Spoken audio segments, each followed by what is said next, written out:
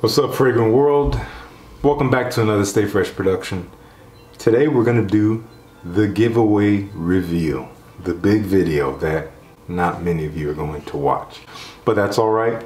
Those of you who did have interest in winning a free ticket to Scent Xplore, if you have no idea what that is, then you need to watch this video. Regardless, I'm still running the discount code SFP20 which is going to be good for another couple weeks. If you're interested in purchasing a ticket, even if you don't win a ticket here, you can get it for an additional $20 off on top of the already existing discount. Again, if you want to learn more about why that's valuable, then watch that video that just popped up there earlier. So let's get to it. I have the list of people I'm going to read you guys off. Those of you who mentioned that you had interest in winning a ticket, we have Hassan Gamble. I'm going to mispronounce many of these names, so I apologize. Lee Ford, Josh Daniel, Kyle Chase, Wilson Ciavice, Ciavichai, I'm not sure, I apologize. Chris Henderson, James Polo Mendez, CK, or also known as Colin. We have Marisa Hernandez, Giuseppe Gomez, Welster, Fraghead Nother, Marquise Smith, Dimitri Stamatis and Professor X, who's another reviewer here in the community. So here's our list. Before I click the winners here, I want to share with you my scent of the day. Today I wore Layton. This one lasted me all day. A good nine, 10 hour day and it's still kicking. I love this stuff one of my favorite scents, very versatile to me, and I love to wear it at this time of the year in the autumn. Now, a few of you had specified that you would bring a plus one. So I have that noted in my phone next to your name. So I know whoever gets picked, I see if you have a plus one or not. Now, if you happen to win and you are not going to bring your plus one, then please let me know as soon as possible so I can give that extra ticket away to another person on this list who maybe will not be picked. So be considerate, be courteous. If I pick you and you win and you initially said you're gonna have a plus one, but that changes, let me know right away. Easiest way to do that, send me an email. This is my email address, thestayfreshproductions at gmail.com. That is for you to contact me just in case you gotta make any changes. So let's get started here. We're gonna pick a random winner. First one up. So our first one up, winner is Dimitri Stamatis. And I believe it was just gonna be you. I had it written down here. Yeah, so just you by yourself. So that's one ticket. First ticket goes to Dimitri, so congratulations. I will contact Max Forte and I will figure out how we're gonna get your ticket to you. Um, reach out to me via the email address I just put down earlier um, just so I have your email and so I can contact you back when I have the information. That goes for the rest of the winners. So let's pick another one, Marquise Smith. So congratulations to Marquise. And if I remember here, Marquise, you have a plus one here. So technically that's two tickets to Marquise. All right. So once again, Marquise, be a good person. And if you decide that you're not going to bring a plus one, then let me know right away. And in general, to all of you, if you're picked and even if it's just you and you decide you're not going to attend the event, let me know so we can pass these tickets along. But for now, we only have one more winner to choose. Unfortunately, if I do choose someone who has a plus one, then obviously I only have one free ticket to give away. So you'll just have to probably have your partner purchase their own ticket. But they can of course do so with my discount code. So our final winner after we get past this little warning, yes I know now, is going to be Chris Henderson.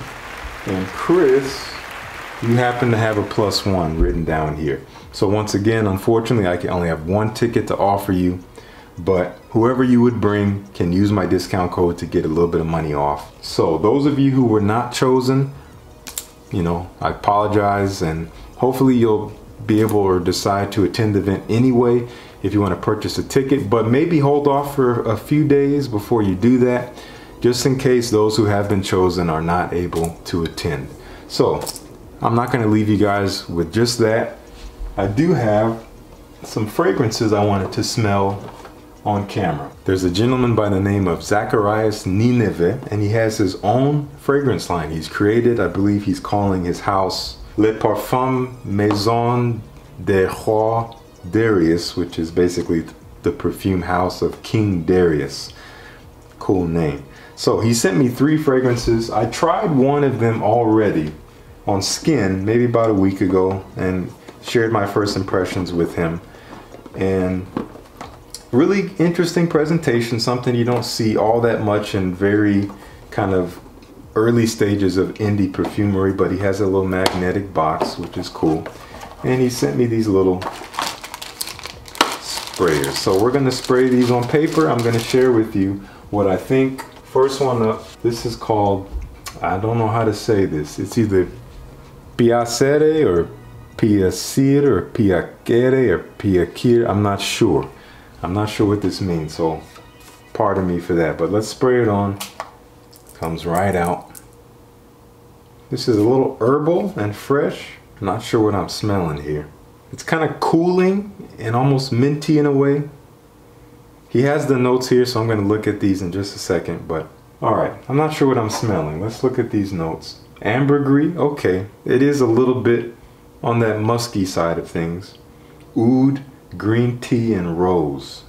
Okay, that makes sense. This is nice, and the quality is pretty good as well. He says that all of these are very strong and then they will last a long time. The rose is coming out a little bit now. That's nice, it's elegant. Not getting a ton of oud, but that woodiness might speak a little bit more on the skin. Next will be Fiore, which I think is the one I've smelled already. Wow. Okay, that's powerful stuff. It's a little bit sweet, but floral for sure. It's woody. Maybe there's oud as well. There's something almost herbaceous about this too. Almost like violet leaves or something like that, but I could be wrong. Let's check out the notes. Fiore. We have musk, sandalwood, there's oud, okay? Ylang ylang, honey, and lily. Okay. So I was definitely getting the floral nature, which is coming from the lily. There's a not much sweetness, at least not yet, and at least not on paper, but that might come out more on the skin. The sweetness would come from the honey and the ylang ylang. Lily, I think, is providing kind of this almost sharp herbaceous scent I'm getting. And it is kind of, it has this like roundness that is from the musk, I think. This is, it's pleasant. I'll put one of these on skin before we finish up here. Last one up, this is called Velour. And I'm sure with time, Zacharias will kind of step up the presentation. You know, these are basic kind of travel sprays and obviously he printed out the name, but you know, he's starting from the bottom. So with time, you know, we'll probably see an upgrade in presentation. So let's see what this one's all about. Velour. Okay, this is the one I've smelled before. I hadn't smelled the other two. This one is very elegant. It's sweet, but it does have a darkness to it, but it's pretty rich. It, it's almost gourmand-like. The blend is interesting. Everything is all, it's kind of melding together. I'm not getting anything standing out right away. Let's see the notes. In Velour, we have caramel, amber, musk, and oud. Okay, so it's a pretty simple note breakdown as with most of these. It's warm, it is sweet. Once again, there's definitely a woodiness in the background. So I think I'm gonna try Fiore on my hand here and see how it does. Here we go. Wow, came out real wet and it's gonna be a little shiny here. Definitely different on the skin. This is the one I think it was like musk and sandalwood and oud and uh, the honey and the ylang ylang, which I'm not still, still not getting much sweetness here, but it's nice. So I'm gonna spend more time with each of these. I can tell it is potent. That is for sure. It's potent stuff. The blend is good. I will give him that. He was saying that his blend was good and I was like, oh man, he's talking these things up. But the blend is nice. It's very smooth, very round. No way sharp or piercing or, you know, astringent or anything like that. So Uh, Zacharias, thank you for sending me these fragrances. I'll continue to spend some time with them. I do want to do them justice.